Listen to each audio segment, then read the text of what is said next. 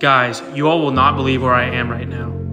I am currently in an old underground rain cistern that is full of eels, also known as the eel pit. The eel pit is one of a kind. There is nothing else like it. It inhabits 12 American eels, 3 spotted gar, and one little crayfish named sriracha. This is probably the creepiest place I've ever been in my entire life. Here is Nick, the indoor eel farmer, feeding Shaquille, the American eel. Make sure to follow for more content.